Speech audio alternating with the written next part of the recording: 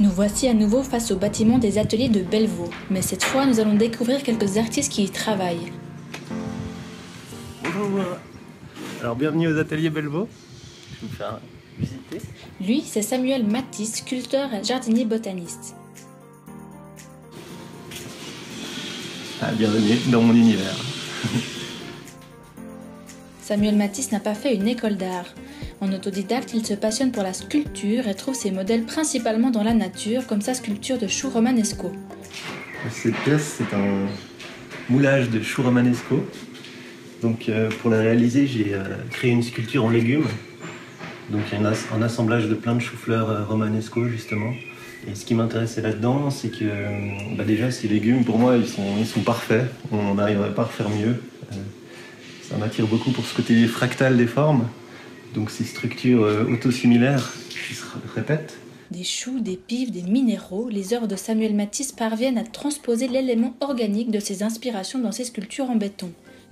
Autre espace, haute pratique. Dans cet atelier, nous allons découvrir le travail d'une artiste performeuse, Jazz Ailing. Je voulais faire à la base un, harnais, un, objet en fait, euh, ce que je suis en train de travailler actuellement, et puis je me suis arrêtée au milieu parce que je me suis dit que ce serait bien d'avoir un, dessin euh, de l'objet. Et le harnais, le voici. Et puis là, ça va s'attacher là. Et puis en fait, il y a une autre version qui est masculin. Et puis ça, c'est la version féminine. Et puis après, il y aura une sorte de cœur là que je sais pas encore comment je vais faire, mais j'adore. J'aurais acheté plein de différents matériels pour euh, tester comment on va faire ça.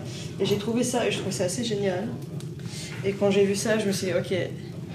Alors là, il faut clairement que je, je sais pas, que je crée une sorte de soirée pour pouvoir mettre ça, je sais pas. Vrai cabinet de curiosité, les objets de cet artiste témoignent de sa recherche de matériel insolite, une esthétique qu'elle peut également explorer sur scène avec son groupe Music for Eggplant.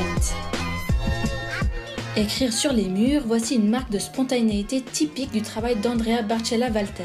Cet autodidacte qui fait son master à l'université de Lausanne aime mêler écriture, peinture et dessin comme le prouvent ses carnets.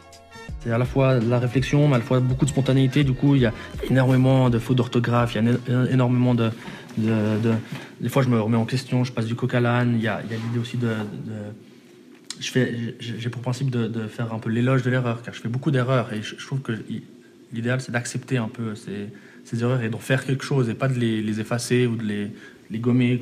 C'est vraiment l'idée de s'approprier un peu tout.